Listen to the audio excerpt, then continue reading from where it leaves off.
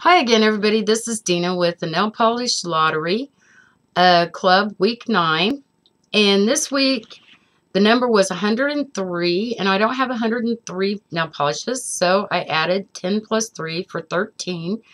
And my number 13 nail polish is a Revlon Top uh, Speed in Emerald. Here's what it looks like. And it's uh, green, of course. And um, Here's what it looks like on my nails. And I have an accent nail, which is uh, the Sinful Colors in uh, Orange Cream. And I wish this nail polish had come up for St. Patrick's Day because it would have been perfect. And I just put it on last night. It's already chipping right here. And, oh well, what can we say? So that is the emerald green and the orange cream. And then today, I have my daughter sitting here with me. And um, she did hers.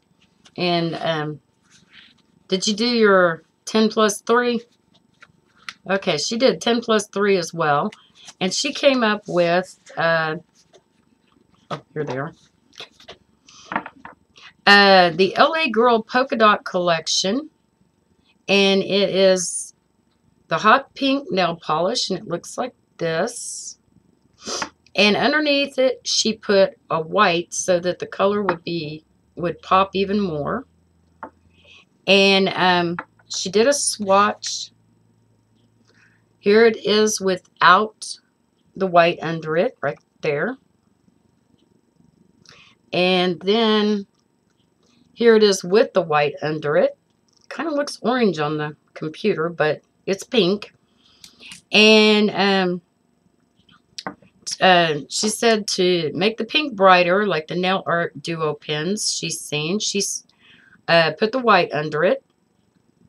And then here's her hand showing you what it looks like.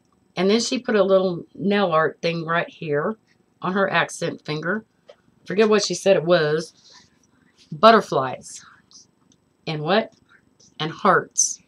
So that is our nail polish lottery picks for week nine. Thank you guys ever for watching and we'll see you next time.